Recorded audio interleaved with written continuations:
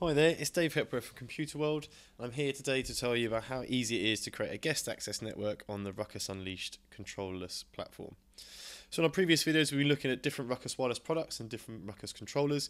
We've covered the virtual smart zone, the physical smart zone and also the controller solution by Ruckus Unleashed. So a lot of our customers ask us how easy is it to control or manage or configure a guest access network. And with Ruckus Unleashed, it's really simple. So if you're a small to medium sized business who's looking to give guest access services or staff guest access on a, on a separate VLAN or on a separate network because you want to keep it a little bit more secure, then it's really easy to do on this easy and simple to manage controllerless platform from Ruckus Wireless. So we'll just show you how easy it is to actually create that guest access network.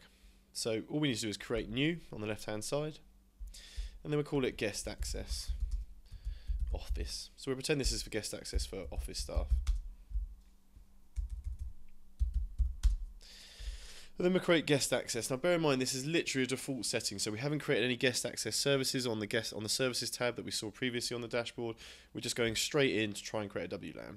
So if we create guest access, you'll notice we'll get a, a message from unleashedruckuswireless.com saying there is no available guest access service. Please configure guest access service first. That's okay. We'll just click OK, and then straight away it gives us a guest access service to create. Because as you'll notice, there isn't any, so we'll just create one straight from here. So we don't have to click through lots of different um, buttons to get to the guest access service, which I think is really nice and easy. So we create this. So we're going to create a guest access service. So we call this guest office so we'll make it nice and easy and we'll just call it guest office. With regards to the onboarding portal and Zero IT, we'll come back to that on another video. There's no need for us to create that at the minute. We're not using Zero IT. All we're going to create is a nice, easy SSID that we can have guest users or staff on a separate network connect to. They'll land on an SSID, a page will open up asking for a guest pass, they enter the guest pass and they'll be redirected to their URL of choice or redirected to our company website. So all we're going to do is we click on authentication, and say, yep, we want to use guest pass authentication. We want to show terms of use, and we can do that quite easily. And you can customize your terms of use here if you wish. But for now, we'll just leave the default terms of use from Ruckus Wireless.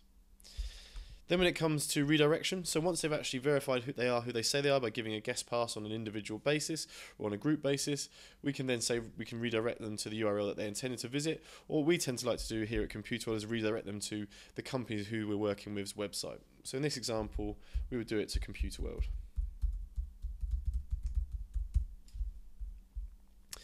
So we're almost there. With regards to customization, at this point, if we wanted to, we could put the company logo, or you could just leave it standard coming up with the Ruckus branding. And we can also change the welcome guest access login page. We can also change the restricted subnet access. So guest users are automatically blocked from the subnets to which Unleashed and its managed APs are connected. But if there are other subnets you want to block or allow guest users into, then you can create different rules here. On advanced options, you'll notice we can start going a little bit more detail about applications, protocols, destination ports, and so on. But we'll just leave it by default and we'll go back to general and that's pretty much it. We've created a guest access service. So we'll select OK. And at that point, the guest access service has been created. So we're almost there. We then want to show advanced options. If we want to make sure that the SSID that we created for the guest network is in a separate VLAN or a ring fence VLAN, which maybe just goes out to a different ADSL line or a different internet connection, then this is where we'd change the access VLAN. Uh, by default, it will go on one or the, or the native or tagged, uh, untagged VLAN. Uh, for access control, if you've created any access controls previously with the available options, we can do that here. If we want to uplink rate limit the uplink or downlink, we can do that here. And if we want to create any access control layer 2 or device policy, we can do that here. And again, it's really nice and easy. If we wanted to create new, just cl click create new and a window will open up and you can start creating MAC address blocks.